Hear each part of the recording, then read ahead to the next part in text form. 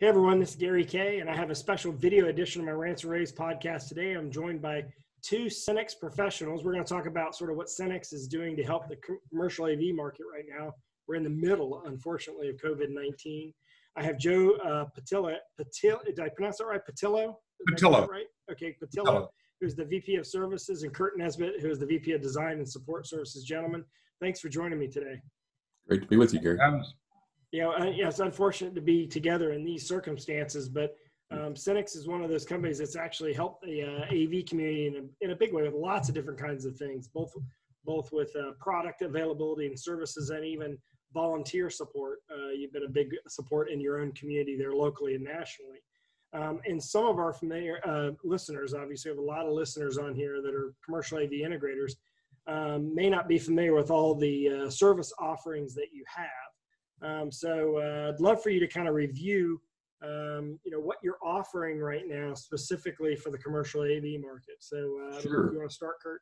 Yeah, I'll start because it kind of starts with the, the pre-sales engineering uh, responsibilities that my team has. And, and so we've got uh, comprehensive AV design services available to the integrators around surveillance and signage, and collaboration, and uh, even newer technologies like the, the sensors for uh, temperatures and such that uh, you know, some of the cameras have, have capabilities of, of doing today. Um, the other thing that I think could be very valuable to the integrators are the ability for us to pair the complementary uh, technologies to the, the, the, traditional AV products. So, you know, obviously the network is kind of literally the backbone of, of most AV solutions today. So we can help certainly design the network there add the appropriate software.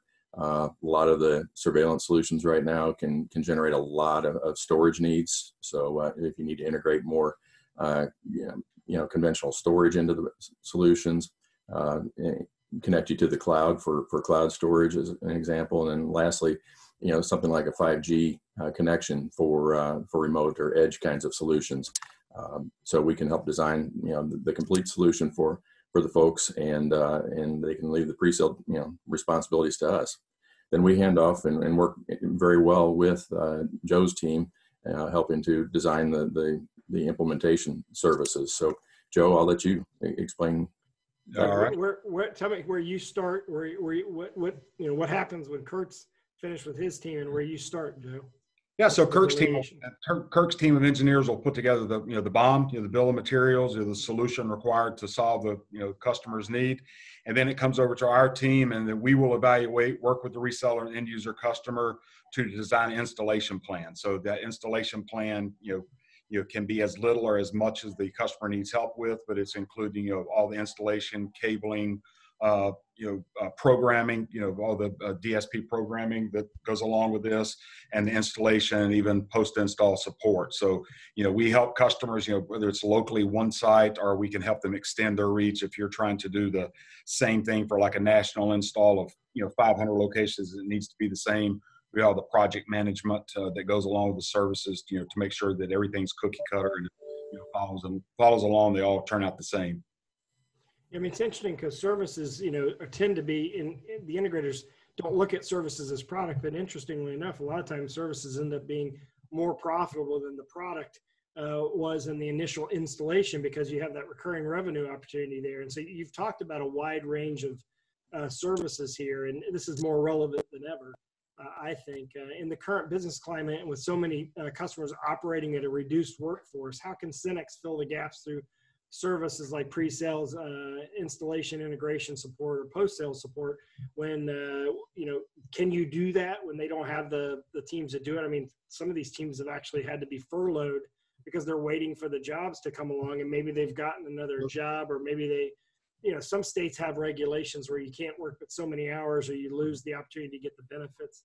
How does right. SYNNEX deal with that? Well, we're living it, uh, it, to the fullest. Really, the, the COVID has had a, a, real big effect on on us and our engineering teams, um, and it's because I think a lot of, of integrators have have you know had some furloughs, and so one of the easier things to outsource is probably the pre-sales side of the, the house. So uh, we've seen a, about a 56 or so percent increase year over year in terms of and through like the the March through May timeframe in terms of uh, number of designs that our engineers are called upon to work for our integrators. So you know, and we're seeing the same thing in, in the collaboration space as well. And so, uh, you know, though that is definitely something that, uh, that I think is has peaked because of the the uh, furloughs that have no doubt hit some of the integrators out there. Um, the other thing that that's been interesting here through COVID is the you know the COVID solution. I touched on a little bit, but you know thermal kiosks, you know, to be able to scan for temperatures and such. Um, we've actually implemented that at SYNNEX in our in our lobbies uh, for everybody coming through, not just guests but uh, our own employees. And then occupancy management is, has gotten to be, especially in like retails and such, uh, gotten to be a, a, viable solution. So using surveillance with some analytics uh, to be able to provide some occupancy management kinds of solutions. So you know, and then lastly, uh, you know, we're doing a, a, fair amount of training, and uh, and I'll touch on that more. But Joe, I'm, i think you've had the same. We have. You know, I'll, I'll echo uh, Kurt's statements there, you know, we we help our reseller partners extend their reach. So, you know, a lot of times, unfortunately, there have been furlough situations, but you know, they, you know, they can still lean on us to be the feet on the street and have the national reach to go out there. And, you know, going back to your last statement, it does create a lot of stickiness with your customer. It allows you to, you know, to be there, you know, when the installation occurs and remain relevant to your customer. And you know, this this AV is just it's part of a much wider solution that we're seeing now that's reaching out to smart city and IoT solutions. So it's it's a good way to remain relevant with your customer by com, you know you know completing the full life cycle of you know the, the, the, design that Kirk does, the install, and then the you know the continued maintenance and assistance downstream. You know when the customer needs you know inevitably inevitably is going to need some help in the future. Well, you know, it's what's kind of one one thing that you brought up, Kurt, that's kind of interesting to me, is that these design engineers that used to work at these integration companies that have unfortunately had to be furloughed, they left and all of a sudden new products are being integrated that, that the integrator never actually dealt with before. Right. Right. Like the, like the idea of occupancy sensors, we use them every once in a while on rooms, but not building or facility wide on a network, right? We were right. just interfacing with a collaboration board. Or these thermosensor products where you're measuring the temperature of everyone coming into the facility and then having to store that data and then decide what to do with that data because some of that data by the way is illegal to store certain ways. And your team has deals with not just the FERPA and but and HIPAA laws but also some of the ethical issues in and around that. But even when these team even when we are hopefully soon out of this situation where we're being furloughed you now have this expertise for this new kind of system that's really not, as you said, Joe, really not AV, but it's on the backbone of AV because we mm-hmm. are the ones that are the front line to interface all the hardware in a, in a facility, right? Not everyone goes to a computer screen. A lot of times you're you're interfacing with a room, right? You're starting up a room, and that's when you're using the occupancy sensor. Right. Um, so this is kind of an interesting. This is an interesting thing that I hadn't thought about. Is that all of a sudden we're providing something that wasn't ever being provided before. So we're you're going to have to go back and sort of teach these design engineers. So have you thought about the training aspect of this long term? Because you're going to have to re reacclimate these tra- these uh, systems designers into doing this stuff. Yes. Yeah. Yeah. Go ahead, Kirk. Yeah, um, our AV engineers do a, a, fair amount of training that's kind of been in, in their in their heritage, and uh, this is more of the same. So you know what we try to do is not just train on the technology, but you know what are the drivers of it. You know where, can you maybe get funding for some of these solutions, and how do you how do you you know take these new solutions? What's the the value prop to the business uh, for them? So we, we take that very seriously, and we've got a series of trainings going on. We've got some going on with with you, Gary, that I know has been vertical focused uh, around healthcare, education, um, we did uh, the speaking engagement or training the engineers led for PSNI, uh, that group. And uh, it was all COVID, work from home, and then around the analytics kinds of, of uh, tools that we've just been talking about.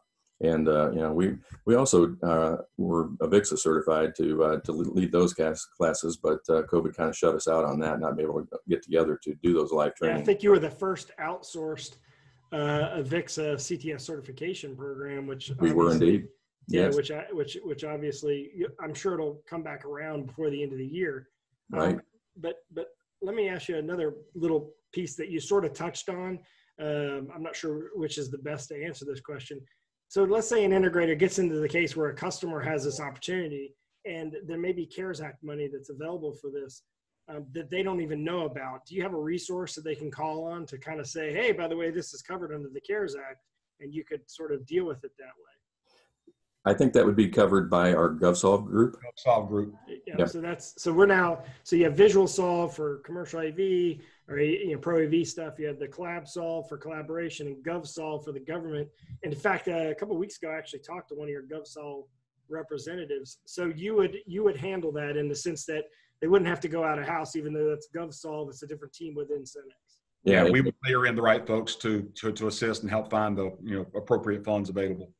Yeah, I mean, uh, there are a lot of solutions that, that requires, you know, you know, partnering within with the SYNNEX organization, whether it's financing, you know, or, and or, you know, the GovSolv team that's aware of the different, uh, yeah, funds that are out there to be, to be tapped. And that was kind of part of our messaging around the education training that we did here recently. You know, that? Yeah, you- we had an education day today. In fact, uh, actually, if you missed that, you can actually go watch it because uh, uh, you can actually go to the the launch website and actually go watch the pre-recorded material um, for both the healthcare day and the education day, which you referred to, Kurt. Yep. Um, so, what's the next step for the for interested listeners? Where do they go? I know that we're going to put some links in the description of this podcast.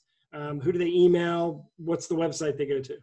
I would suggest keep it simple and uh, mail your email your opportunities to Visual Solv. That's Visual S O L V without the e on the end at SYNNEX.com or CollabSolv uh, at SYNNEX.com. And there are teams of, of folks that will uh, address you know those those needs or interests and uh, and get it going in the right hands, including the engineering teams you know on those as well as the the product management teams. Excellent. Well, I really appreciate both of you joining me. Uh, Kurt, Joe, thank you very much for your time today. I know that there's a lot going on. It seems like ever since this work from home thing's been going on, I've been working harder Right. from home than I was actually in the Same here. Office. Uh, I don't leave to work out like I used to. I don't have midday lunches like I used to. Uh, but uh, let's hope that uh, we're on the right track. And uh, thanks for what you're doing. Uh, thanks for joining me today. And of course, SYNNEX corporate wide is at synnex.com. Uh, so don't forget you can check them out, including GovSolv as well. So uh, thanks, uh, Kurt. Thanks, Joe. And uh, everyone, thanks for listening have a great day. Thank you. Thank you.